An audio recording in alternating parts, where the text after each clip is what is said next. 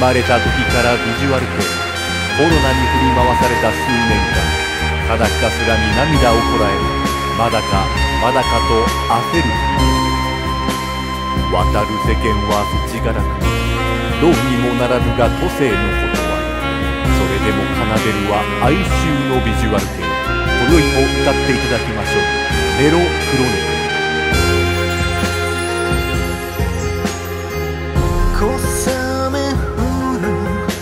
る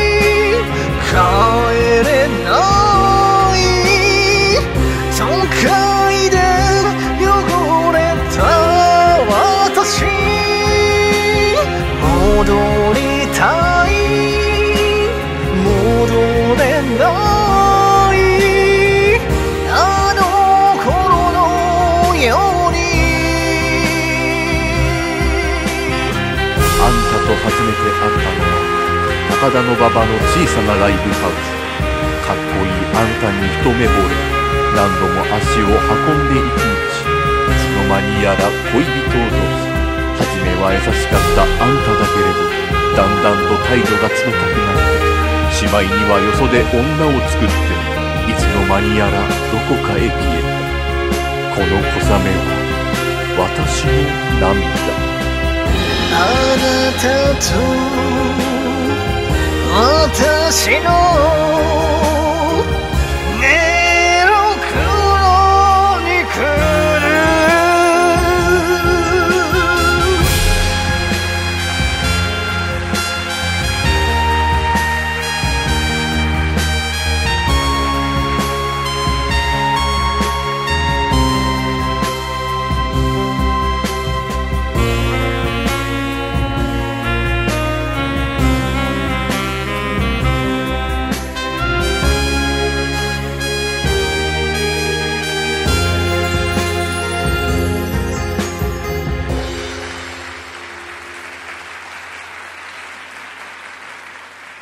ご覧のスポンサーの提供でお送りしました。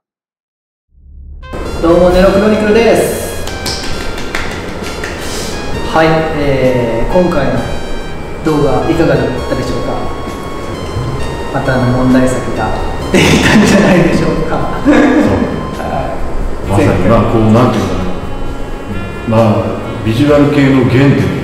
あのルーツというような感じがする曲になってるな何とも言えないですがそういうことにしておきましょう。なはい、毎年ね、いろんなエイプリル動画動画をね、エイプリルフール動画を撮ってきましたが、だんだんね、なんかもう、もうやることないな。どうしたんだネタも切れてきてるし、そうだよ。まあぶっちゃけはこの絵面に勝てるものがもうないかもしれない。いつから、来年何なんですか、この格好。意味わからないなお互いな。どなたですか？なんかいそうだけど実際なんかあのクラシック界にこんなやついそうだけど。テレビでは確かにいてても、不自然ではない。けど。はいこういう人いるよね。そう。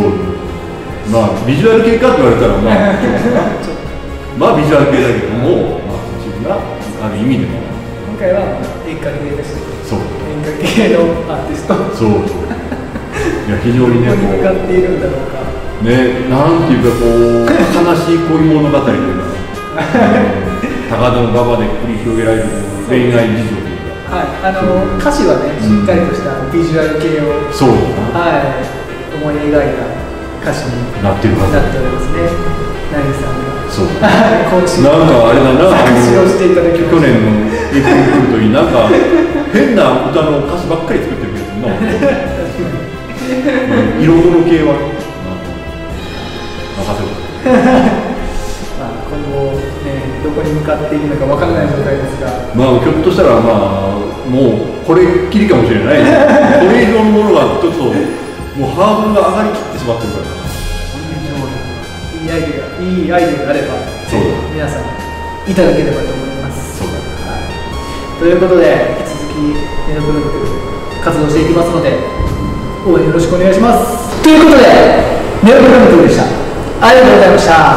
またね